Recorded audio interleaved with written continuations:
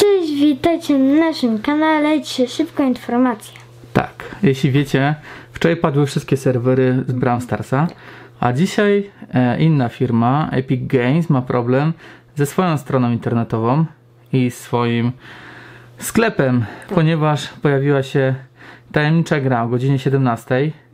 Do pobrania za darmo jest To GTA 5. tak. Hit. Hit, który ma 7 lat. E, najlepsza gra online, która ma milionów fanów. I piszcie teraz w komentarzu, czy chcecie, żeby na naszym kan- kanale pojawiło się GTA 5.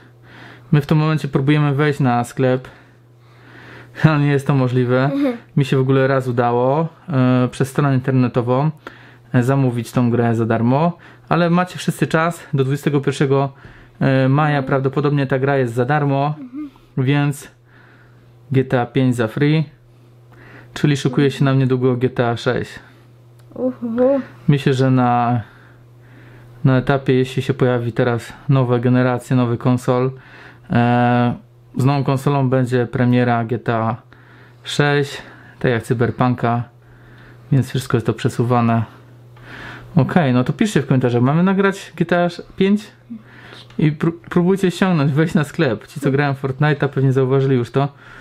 Mm, Od godziny 17 jest problem. Dobra. To wszystko. Macie czas, żeby ściągać GTA 5. Tak. Ja już kiedyś mówiłem, że nie pozwolę mu grać GTA, ale myślę, że niektóre mody albo e, gry online zobaczymy. Dobra. Tak, tak, tak. A i dzisiaj jeszcze odcinek z Brawl Starsa, więc obserwujcie nas dokładnie. Tak. Nara. Pa.